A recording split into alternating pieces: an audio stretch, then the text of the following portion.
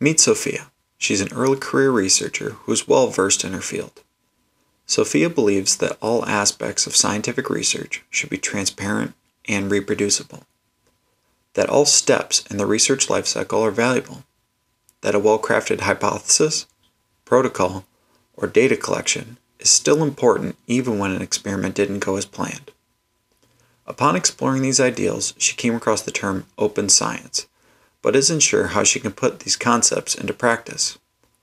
Through conversations with her colleagues, she learns about a research management tool called Open Science Framework, or OSF. Admittedly, Sophia was excited but a bit nervous. Following open science guidelines feels like an intimidating undertaking, and she has many questions about where to begin. The OSF is an online platform that enables researchers to transparently plan, collect, analyze, and share their work throughout the entire research lifecycle. Each tool on the OSF is specifically designed to promote the integrity of research while supporting a researcher's individual comfort levels related to sharing and collaboration. Because of its focus on research integrity, the OSF has caught the attention of institutions with open access policies, publication journals, and even funding agencies, both private or government. Let's follow Sophia as she explores and learns how some of her very common problems in research can be addressed by the tools available to her for free on the OSF.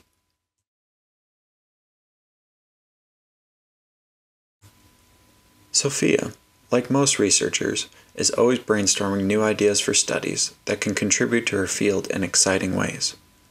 Before a new idea takes shape, she evaluates the research landscape to see what is being investigated recently. Traditionally, she has always used reference platforms or specific journals, but many publications can have out of date results and often only provide information regarding successful studies. What if another researcher had tried her new idea but it didn't produce the expected outcome? How can the scientific community learn from their mistakes if they only share perfect, expected results?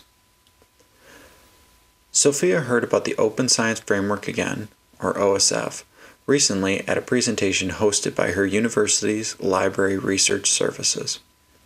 Curiosity piqued, Sophia decides to take a look through the OSF to see what others in her field are working on.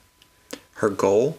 To verify that an idea she has for new study is not being done elsewhere, or if it is, to learn from their results. Through her search on the OSF, Sophia is surprised not only to find pre publication manuscripts but also countless cutting edge research protocols, collected data, and analyses related to her research interest. Since these other researchers have shared their work on the OSF, she is now able to build off of their study ideas from all stages of research. Sophia is reassured that her research idea is unique and untested. All materials shared on the OSF open the door for new potential collaborations on future projects.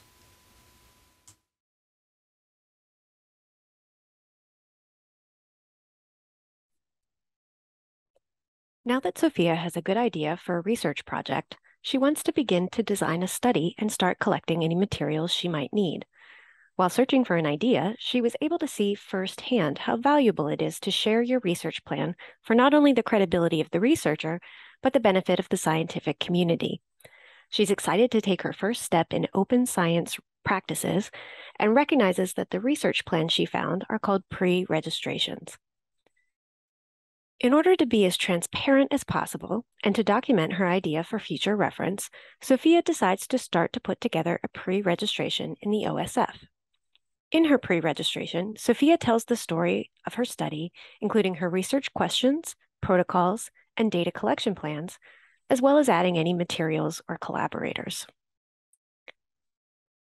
Once Sophia finalizes her plan and creates a pre-registration, it's time-stamped with a permanent digital object identifier, or DOI, for future reference, and it's archived for permanent storage. The registration is therefore a centralized point of reference for anyone interested in finding out about Sophia's study and can even link to the study's files and other resources. Creating a registration before she begins the project helps Sophia if she decides to seek funding from funding agencies that require open science practices. Sophia has heard many stories about research ideas being stolen or scooped. If Sophia is worried about sharing her work or registration while it's still in progress, she can also embargo access or temporarily make her registration private for up to four years. While embargoed, Sophia can create an anonymized view only link for sharing with potential reviewers or funders. Sophia is confident in her registered study plan, but things can change. If she does need to make an amendment to her study plan, she can create an update to her registration. Any changes are recorded with a descriptive summary of each. This allows Sophia to create a clear story for other researchers to follow her registration from original concept to current version.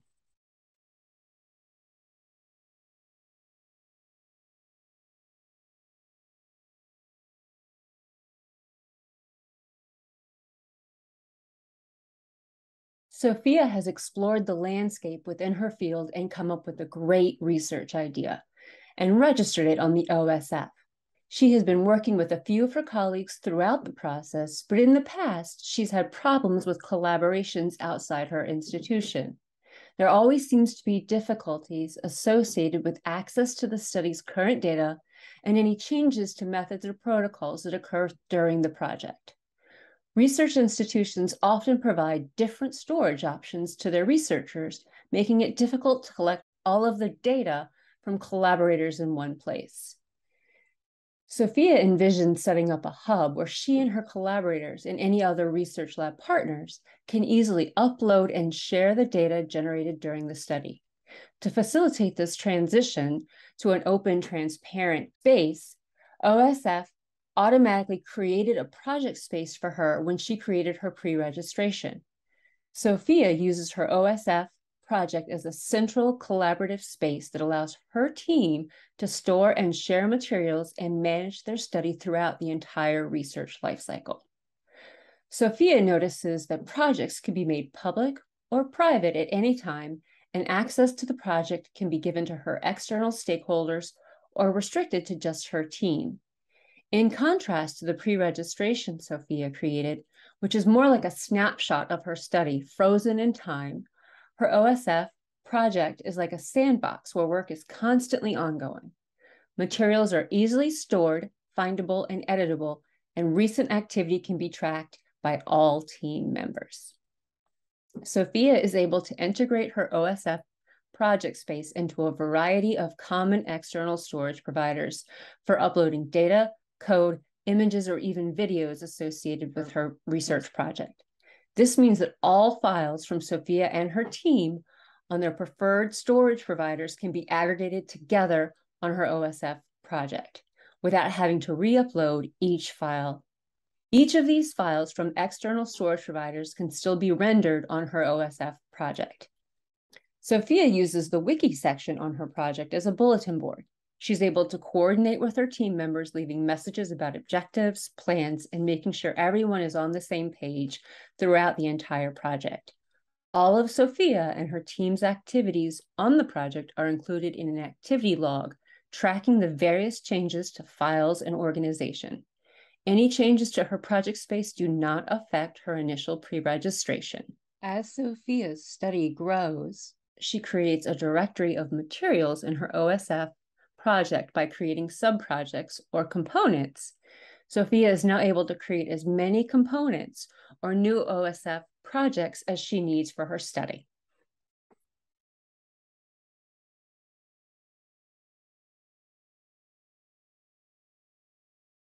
Now that Sophia and her team have completed the analysis for their study, she's excited to share her fresh new manuscript with others in her community. Sophia's preprint receives its own permanent DOI and is indexed by other discovery services on the web. She can update her preprint at any time to include new information, and all versions are available for readers. Following open science practices, she makes the entirety of the study's life cycle clear. Sophia adds links to her OSF project and her pre registration, as well as links to any subsequent publications making all of the steps of her research project available together.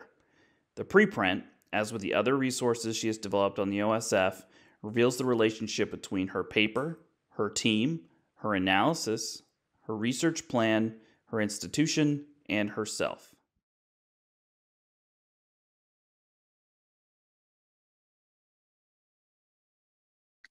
With the closing of her study, Sophia is in an interesting position in the research life cycle. She is promoting the discoverability of her concluded study while keeping an eye out for her next idea. She is also looking to comply with any requirements from her funder and institution open science reporting requirements.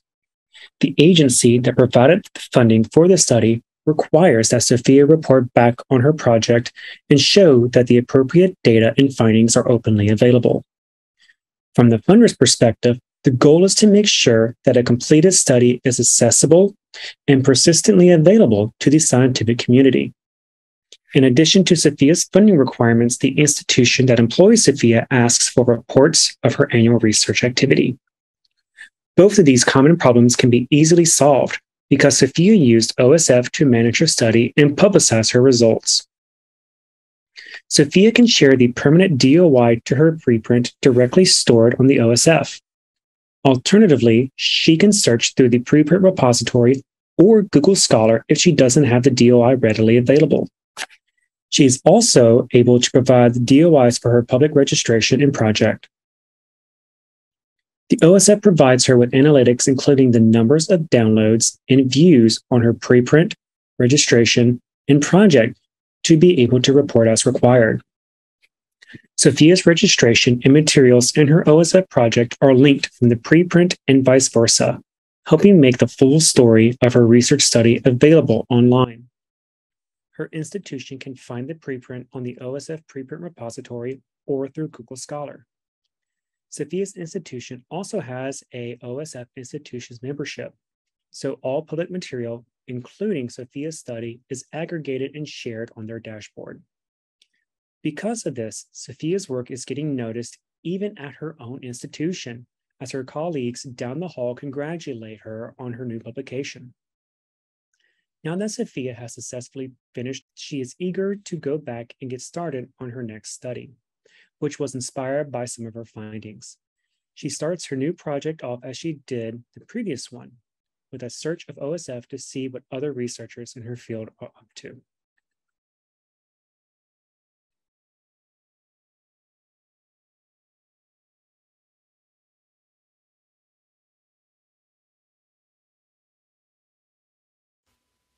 Sophia can now use the OSF to support her research goals. But like anyone who's trying something new, she has more questions. If she ever has a question or experiences a problem, she can go to our OSF Support Center. Here she finds an extensive set of help guides and resources to help answer her questions. Sections of the Support Center correspond to sections of the OSF, including help guides on registrations, preprints, projects, and even information for her account. Additionally, she finds a Getting Started section for new users, frequently asked questions, and even translated resources in other languages. Sophia has a specific question but isn't sure what section of the support center it would fall under. She decides to utilize the search bar at the top, which aggregates the help guide results based on keywords from the question. Normally, this helps her find her answer, but no luck this time. If she can't find an answer to her question, Sophia knows that she can always ask customer support for help, where she will receive a message from a dedicated staff member trained in all aspects of the OSF. The Help Center is a valuable resource, and Sophia returns regularly as she continues to learn about the OSF.